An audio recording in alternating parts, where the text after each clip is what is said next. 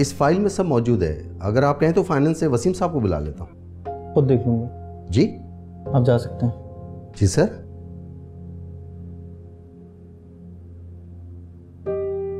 मेरे बारे में जानना चाहते हैं ना?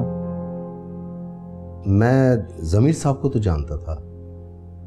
वो हिदायत साहब के दामाद हैं। हम्म। और अफान साहब को भी। मगर आप? और मैडम से मेरी कोई रिश्तेदारी तो है नहीं और आप सोच रहे होंगे मैं उससे ऑफ़िस में क्या कर रहा हूँ। है ना? जी सर। Sorry sir. मेरा मतलब है कि आपका तजस्सुस गलत नहीं है। आपकी जगह मैं भी होता तो मैं भी ऐसे ही समझता सर मैं मैडम और हिदायत साहब का पुराना मुलाजिम। हम्म। मुझे तो जो हिदायत साहब कहते थे और अब मैडम कहती हैं मैं तो वही करता हूँ। मुझसे तो ये कहा गया कि माहिर साहब आएँगे माहिर जहांगीर साहब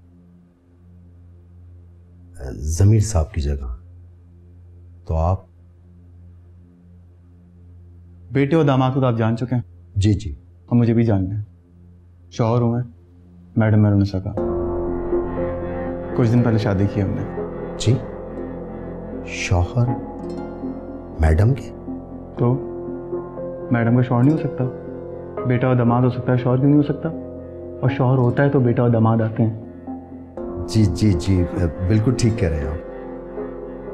तो सफदर साहब आप यहाँ के ईमानदार पुराने वफादार एम्प्लॉई हैं ना? जी। हम्म तो फिर ये रिकॉर्ड में पिछले साल के पूरा जो रिकॉर्ड है इसमें तो लॉस है। क्यों? वो सर वो बात यह है कि बोले बोले हम लिसनिंग सर वो